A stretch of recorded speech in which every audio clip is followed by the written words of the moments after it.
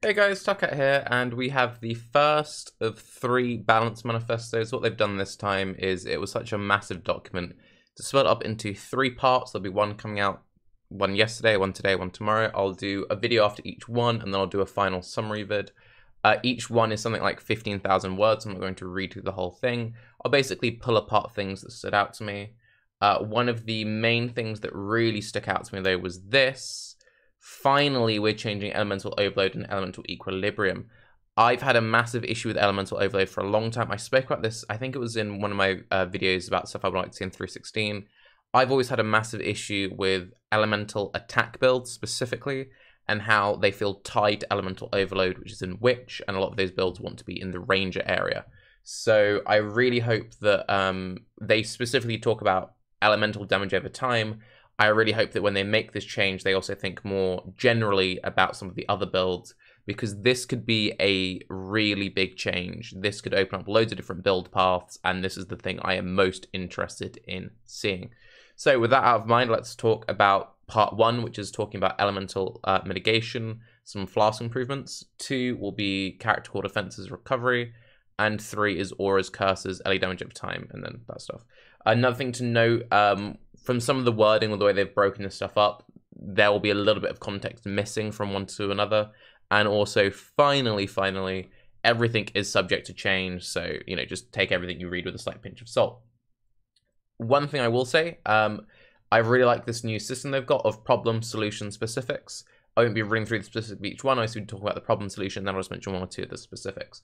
So, ailment, ailment mitigation.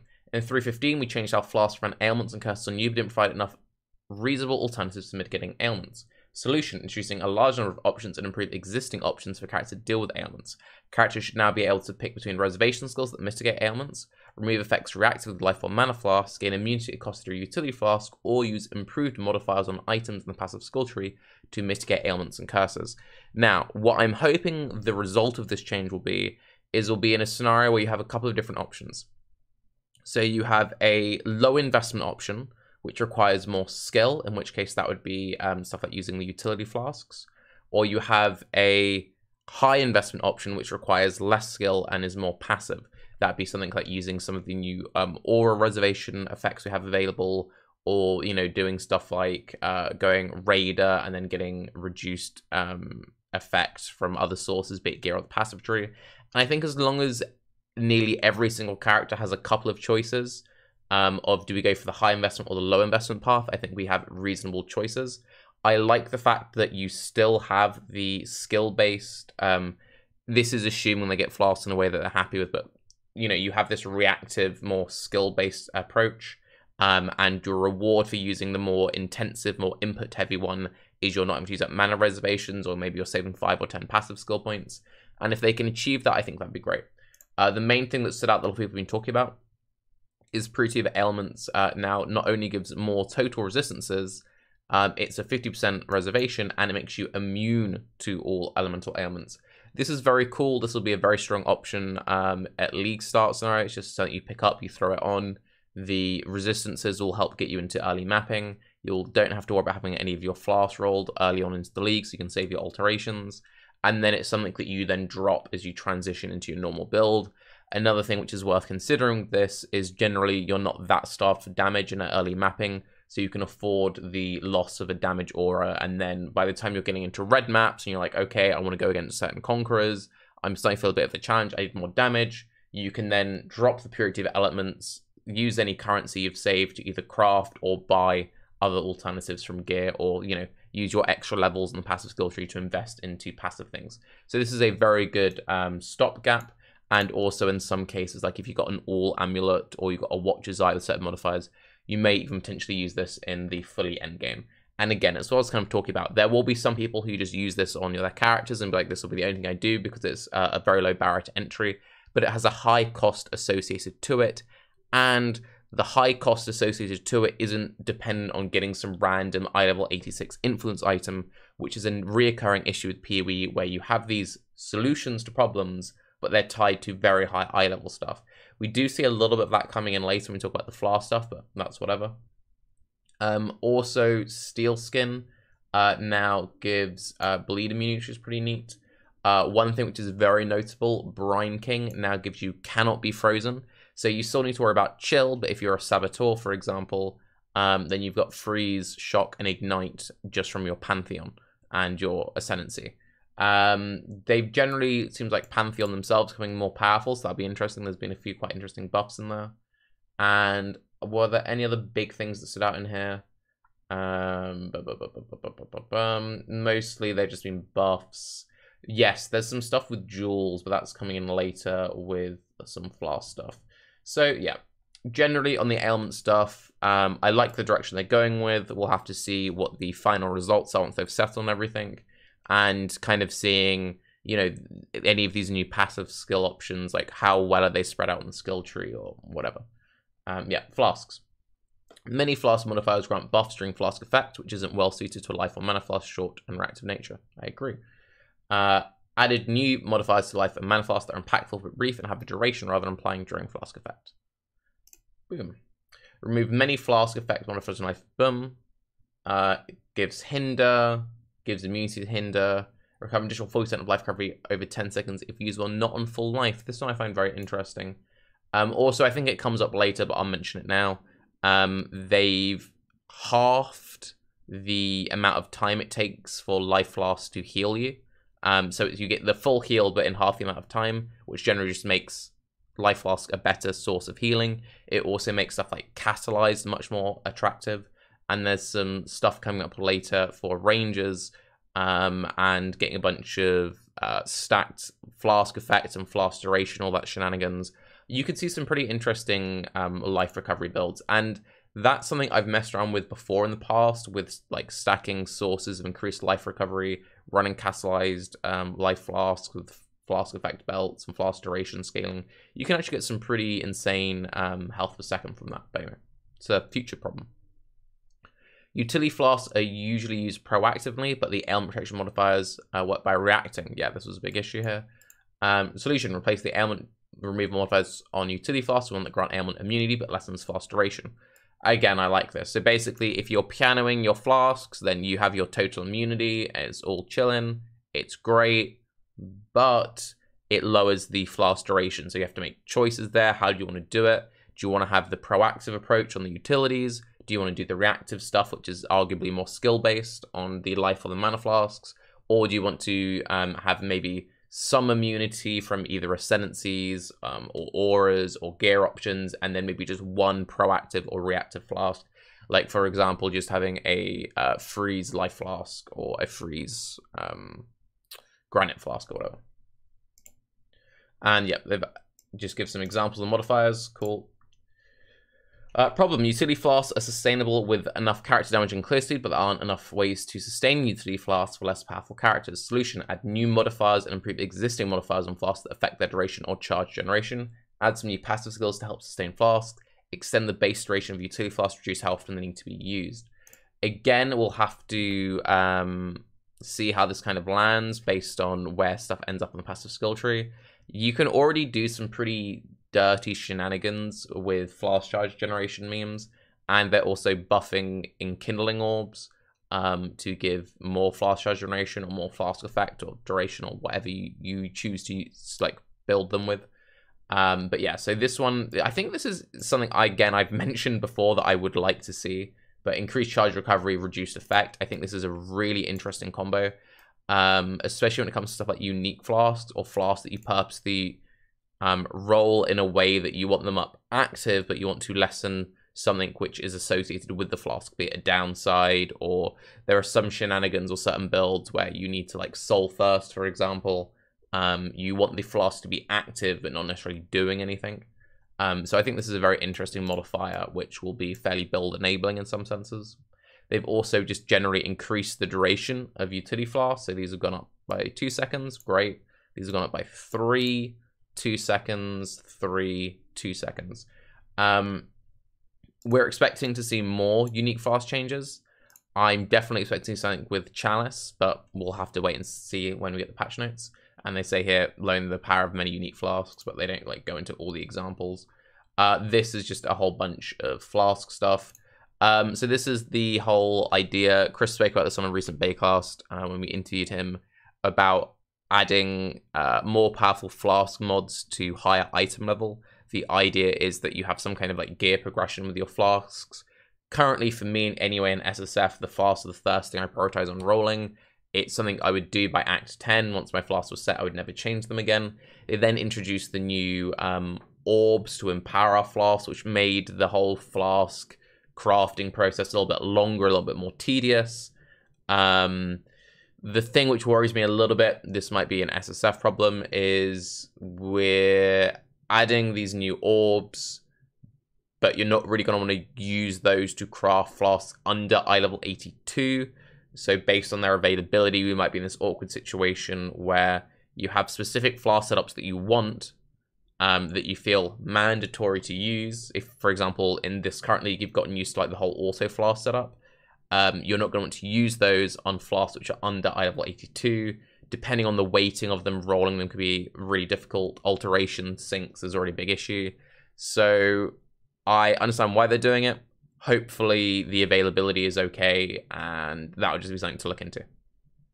Uh, Enkindling Orbs, they're buffing them. Um, yeah, cool.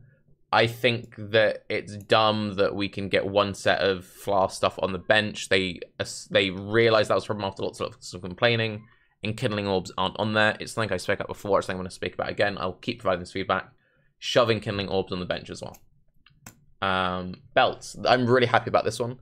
So belts are meant to be the flask slot, but a lot of people don't really utilize them for that. And I think the flask slots on belts are generally um, very um, underrepresented for how powerful they are, and they've just made them better and added some new ones, and they've taken them off the influence mod pool, added them into the base mod pool, which is good. I've had a bit of an issue with influence items for a while. Um, yeah, these are great. I'm looking forward to having some cool flask stuff, but this then comes back to the whole smart loot conversation. Can we improve dropped items? Because the chance of me dropping a really cool sick flask bell is still trash, but yeah.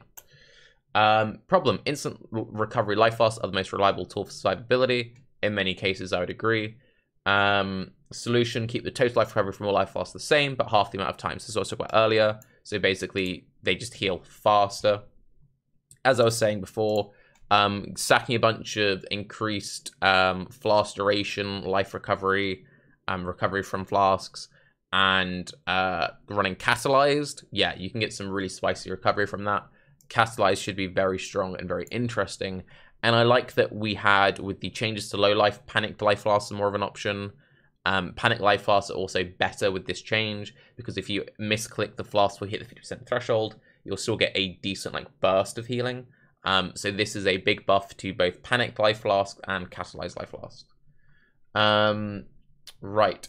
Problem, there are no accessible tools for players to change their charge gain method if gaining charges on kill isn't well suited to the slower playstyle. Solution, rework the survival jewels able through sacred ground so that you gain charges in other ways or reduce the charge gain from kills. These are still design in progress. I really like this. I like the idea of um, actually having a reason to do that quest. Uh, it could be kind of annoying if these still super mandatory that you have to like mule three of them. Um, what I mean by super mandatory is like if, for example, like, oh, you really want to use this jewel for the Sirus fight. This is both a cool and a lame thing. It's only Act 2, so it's fine. If this was like an Act 10 rule, it'd be a bit lamer. Um, but I do really like the idea that you maybe have a, okay, this is what I'm going to use for mapping. This might be what I use for like heisting. This might be what I use for certain boss encounters. I like the idea of swapping that stuff in and out. Giving players options is always a good thing. I kind of feel like charge generation shouldn't be tied to kills. Something we spoke about a lot on Baeclast. I'm talking to Chris. I wouldn't be surprised if some of our conversations kind of helped to motivate this because it seemed like he sort of shifted his philosophy a little bit based on some of the points that Ziggy made, which were really good. But I do think that um, there should be some passive non-kill based generation baseline, and then these jewels could be a good way to either fully go in that direction or maybe go more towards the kill direction. I don't know. I think I'd rather see that way rather than this, which is potentially just a band aid.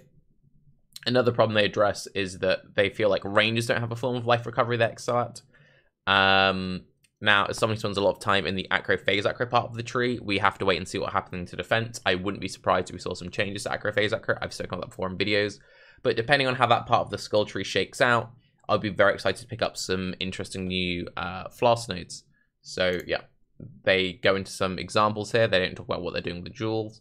But added life regeneration if you use a life flask in the past 10 seconds, and mana gained on hit with attacks if you use a mana flask. This is really cool. The mana gained on hit if you've used a mana flask is really, really interesting. Could be cool for some like mind over matter attack based builds. Um, again, depending what ends up happening with stuff like Elite Overload um, and EE, there are actually quite a few um, Ranger Ellie Overload style build that would route through all the agnostic and mana stuff. It's a little bit redundant for the average just attack build because the average attack build, if they've used a mana flask, the mana flask will give them all their sustain. But still, if you're, for example, like, I don't know, a Toxic Rain build and you haven't got other ways of solving your um, mana problems, depending on the value of the mana gain on hit you get if you've used a mana flask, this could be a really good way of smoothing out those builds on bosses because sometimes you can be that awkward scenario where it's like, uh-oh, I've run out of uh, flask charges. I now can't attack anymore. But maybe with this setup, you could be a situation of like, okay, I pop my mana flask so I can attack indefinitely for the duration of the mana flask. And then maybe I get enough mana gain on hit that I can continue to spam Toxic Rain for 10 seconds. And then when my mana starts to drop, I then uh, press the mana flask again. So this could potentially, you know, let's say you've got like four or five uses on your mana flask, being like another 50 seconds of attacking on a boss. That's really cool. So I dig it. Um, added new passive skills in the range section of the skill tree that increase generation of life and mana flask, including gaining a life flask on hitting enemies. Cool. Added new source of life and mana flask charge every three seconds, and life flask getting charges when you suppress spell damage. Again, uh, this is sort of what I'm talking about when I'm expecting changes to phase acro um, suppressing spell damage. I'm guessing what they're gonna do, um, because there's been a big issue with like dodge and block being so powerful. Um, is I imagine based on this wording, is they'll make sources of dodge and block more available, but rather than giving you hundred percent, you take no damage. Maybe it's you mitigate seventy percent damage. Um, so they kind of like do like a glancing blows kind of thing. Um, depending on if that's what they do and how available they make it, like if it becomes a thing where like every character is now expected to get some um passive avoidance um through very easy routing on the skill tree, then I could maybe be okay with it. Purely speculation, but suppress like if you were to, for example, um suppress the urge to Oh no, that's too dark. Let me let me pull that one back. If you were to suppress a fart, um, you're still farting. You're just hoping to fart quietly. Um, so if you were to suppress spell damage, then yeah, I imagine you'll still take some damage rather than ignoring it completely. So let me know what you think about that. Um, generally pretty in favor of all of this. There's a couple of things that could be a little bit. Um, I really like this new format. I think it's very interesting. Very curious to see how this sort of like drip feed um, of information kind of goes long term. Um, I feel like people have been very pleasantly surprised by how well received this has been. I was a little bit worried when I learned that they were going for this kind of setup that there might be a scenario where um, if they like front loaded something which seemed questionable but was then justified in later context that people could react poorly. I'm kind of worried for the core character defense and recovery aspect um, because I'm expecting there'll be some things in here that people aren't happy with. I probably would have saved that for last. Maybe that's their thought process. If they're like super confident on part one, like obviously they're confident in all of these changes, but they're wary of players' reactions. They feel like part two is good for the game, but they worry that some people might freak out a bit. But then part three comes up the next day and there's a slam dunk, then it makes sense. Again, very curious about the Ellie overload. That's what I'm most interested in. Let me know what you think of these changes, and as always, refer to the notes. I'm Tarke. Have a wonderful day. Goodbye.